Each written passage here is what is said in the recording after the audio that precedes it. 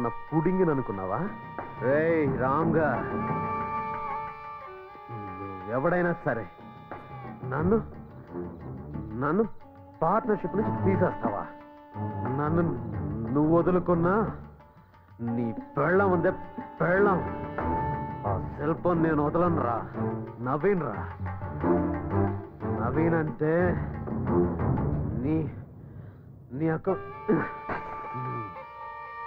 నీ అంతు చూస్తాను రా బ్యూటిఫుల్ బ్యూటిఫుల్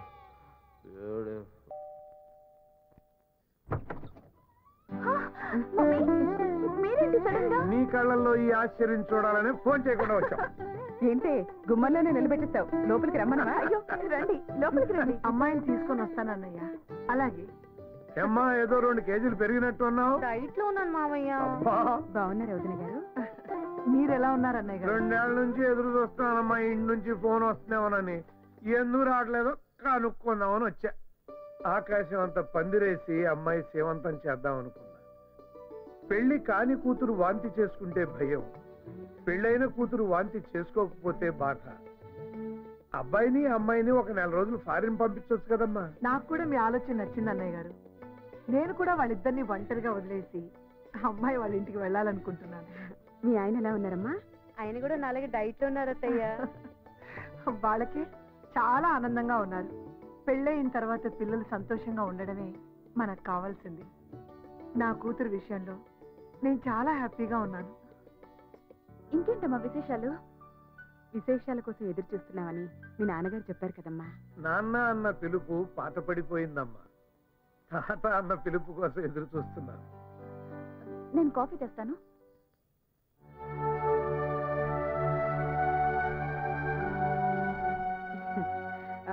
అమ్మా శిల్ప? ఏమ్మా ఎందుకు వచ్చేసావు? కాఫీ కలుపుదామని నువ్వు ఇంకా గతాన్ని మర్చిపోలేదా? కొన్ని విషయాలు దాచడం కాదు. మర్చిపోవడం మంచిది. లేకపోతే చాలా కష్టం శిల్ప. చూడు శిల్ప మంచి భర్త దొరకడం ఆడదాని అదృష్టం. ఆ అదృష్టాన్ని దూరం చేసుకుంటే నీ ఎంత దురదృష్టవంతురాలు ఉండదు. అదేం లేదమ్మా. మరి మరి.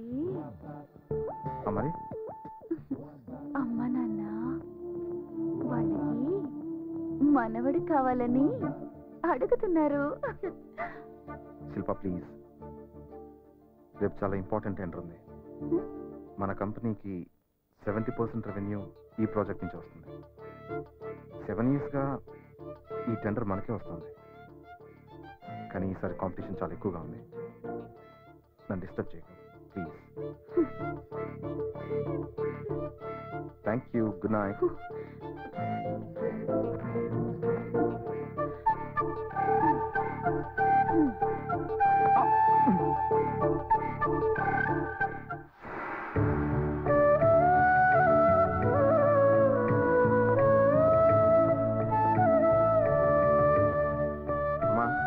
tender వేయడానికి వెళ్తున్నాను. క్షేమంగా వెళ్ళిరా బాబు. ఇదిగో బాబు.